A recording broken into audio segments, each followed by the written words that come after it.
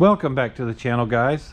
Um, it's Thanksgiving week, and Thanksgiving in Houston for car guy usually means Autorama, which is our World of Wheels indoor show that comes Thanksgiving weekend. Well, 2020 being 2020, we don't get to do that. I actually built the Ranger originally to put it in the mini class at that show. And after three years, or four years, two of which it got best in class, I decided I wouldn't show it anymore. And it's been just kind of sitting ever since. And well, I'm going to take the opportunity of all the shows being canceled this year to go through, redo it, and be dang sure it's ready for next year. So on the rebuild, we're going to start with the interior, which is stuck in about 2005. Um, tweed everywhere, everywhere. I want to swap to a Mustang Dash, which might lead to putting air conditioning back in it. I'm not sure yet. Um, I'm gonna, let's see, we're gonna put a Bronco 2 gas tank in it, get the fuel cell out of the bed, as well as moving the battery down on the frame. Um, we're gonna go back to the XXR wheels, which are on the Mustang. I just threw them on there for the heck of it. Uh, I do want to go an inch lower by Zing the front drop beams and taking actually one degree of camber out of them to go lower. Um, it does have Cobra brakes. Right now the rear end is a flip kit with a set of slapper bars.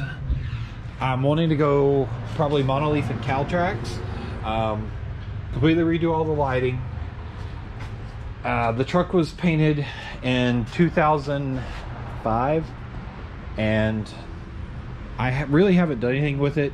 The guy who actually uh, painted it was a good friend of ours and he's the one that got me into the shows and I, I, I really haven't really really haven't wanted to do away with this paint job because he's passed away now but I think I'm gonna just somewhere in a dark recess tape over part of it just to save what it once was.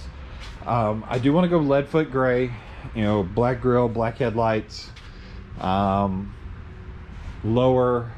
I am going to be putting new doors on it. I'm going to buy a different set of doors and put handles back on it because that's one of the main reasons I quit driving it. Um, I did the V8 swap. It's 302 iron GT40 heads, ECAM, Holley 650 uh, MSD ignition, uh, Shelby tri-Y headers, a Jegs universal radiator with a pusher fan that I actually made mounts for.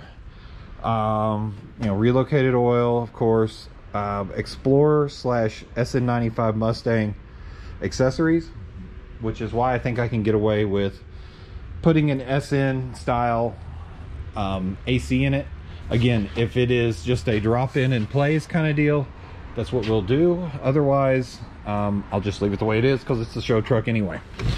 But I'm thinking S95 dash and console. Let's fire this thing up.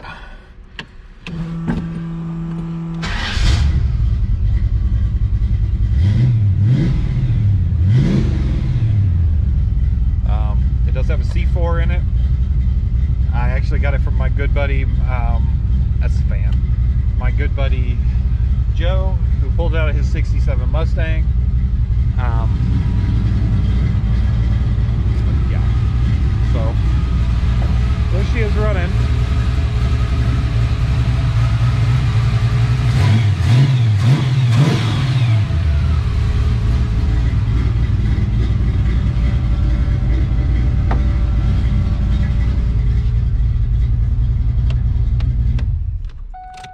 So uh, the first video on the rebuild is going to be pulling the interior apart. So that'll be what I do in my next video. And I will see you guys then. Please like, share, and subscribe. And have a safe and happy Thanksgiving.